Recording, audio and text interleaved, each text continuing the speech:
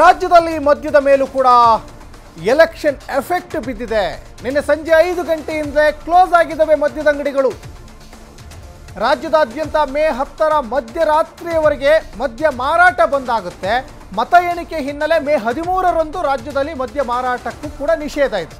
ಮೇ ಹದಿಮೂರರ ಬೆಳಿಗ್ಗೆ ಆರರಿಂದ ರಾತ್ರಿ ಹನ್ನೆರಡು ಗಂಟೆವರೆಗೂ ಕೂಡ ಮದ್ಯ ಮಾರಾಟ ಬಂದಾಗುತ್ತೆ ಈ ಹಕ್ಕನ್ನು ಬಹಳ ಖುಷಿ ಖುಷಿಯಲ್ಲಿ, ಜೋಶಲ್ಲಿ ಎಂಜಾಯ್ ಮಾಡಿಕೊಂಡು ನಾವು ಹಕ್ಕು ಚಲಾಯಿಸೋಣ ಅಂತ ಭಾಳಷ್ಟು ಎಣ್ಣೆ ಪ್ರಿಯರು, ಪ್ರಮುಖವಾಗಿ ಮದ್ಯ ಪ್ರಿಯರು ಸ್ವಲ್ಪ ಅಂದ್ಕೊಂಡಿರ್ತಾರೆ ಎಲ್ಲೋ ಒಂದು ಕಡೆ ಮದ್ಯದ ಅಂಗಡಿ ಯಾವುದೇ ರೀತಿಯಾದಂತಹ ಅಹಿತಕರ ಘಟನೆಗಳು ನಡಿಬಾರ್ದು, ಕಾನೂನು ಉಲ್ಲಂಘನೆ ಆಗಬಾರ್ದು ಅನ್ನೋ ದೃಷ್ಟಿಕೋನದಲ್ಲಿ ಚುನಾವಣಾ ಆಯೋಗದವರು ಈ ರೀತಿಯಾದಂತಹ ಕ್ರಮಕ್ಕೆ ಮುಂದಾಗಿದ್ದಾರೆ. ಈ ರೀತಿ ಕ್ರಮಕ್ಕೆ ಮುಂದಾಗಿರೋದ್ರಿಂದ ಗಲಾಟೆ ಘರ್ಷಣೆಗಳು ಕೂಡ ಕಮ್ಮಿ ಆಗ್ತವೆ, ಅಹಿತಕರ ಘಟನೆಗಳು ಕೂಡ ಸ್ವಲ್ಪ ಕಮ್ಮಿ ಆಗ್ತವೆ ಅನ್ನುವಂತಹ ಒಂದು ಆಲೋಚನೆ ಚುನಾವಣಾ ಆಯೋಗದವರು. ಆದರೆ ಮದ್ಯಪ್ರಿಯರ ಮನಸ್ಸಲ್ಲೇ ಬೇರೆ, ಅವರ ಚಿತ್ತದಲ್ಲೇ ಏನೇನೋ ಓಡ್ತಾ ಇರುತ್ತೆ. ಮದ್ಯಪಾನ ಇದ್ರೇ ಚಂದ.